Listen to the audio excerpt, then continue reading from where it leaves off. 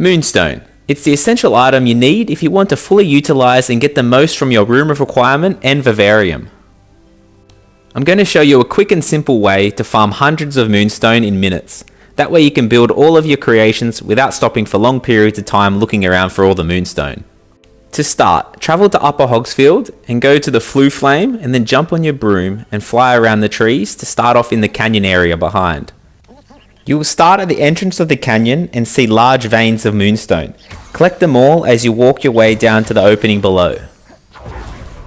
Make sure you stay to the end of the video because I actually have another quicker way to farm moonstone. However, it can only be used one time, but it will reward you with hundreds of moonstone. The next moonstone vein we want to target is the location up on the mountain above Hogsmeade.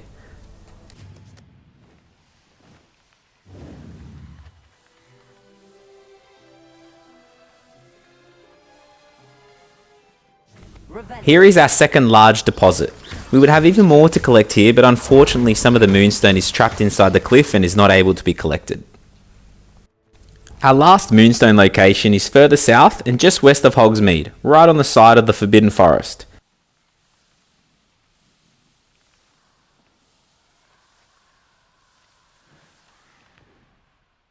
Here the deposit starts on the wall and we follow the path down the hill to collect all the way up to a spider's nest.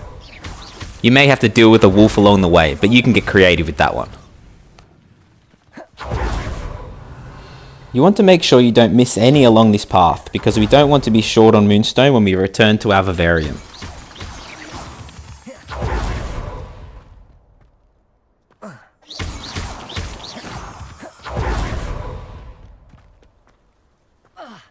Revelio.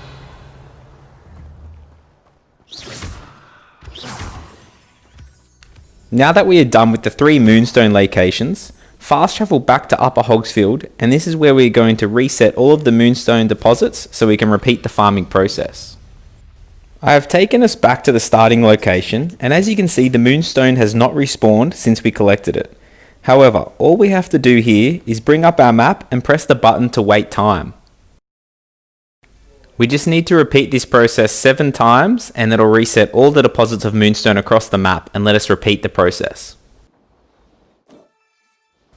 I have fast forwarded this process because I don't want you all falling asleep. You're still awake, right? As you can see, after the 7th time, all of the moonstone has been respawned.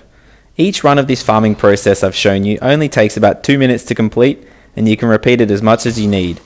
I've been using this method and I have more moonstone than I need. So the bonus one-time use method to get hundreds of moonstone is to use your vanishing spell on all of the unwanted picture frames, mirrors and other furniture. If you haven't done this, it will reward you with lots and lots of moonstone. Just make sure to check all of the other rooms you have obtained. This will also help you clear the way for your own designs. The last method, but definitely the slowest, is to build material refineries, which produce 10 moonstone every 10 minutes. These cost 15 moonstone to create, so they're a slow return on investment. The first two processes will make sure you have more than enough moonstone for any of your creations, especially due to the most expensive building pieces being 15 moonstone, and that's for the breeding pen, but most objects are below 10. If you're wondering, what could someone possibly need all this moonstone for? I'll link some of my vivarium builds below so you can get an idea of where it all goes. I also have small clips of them playing in the background to give you a little idea. If you enjoyed this video, please leave a like and subscribe, and thank you for watching.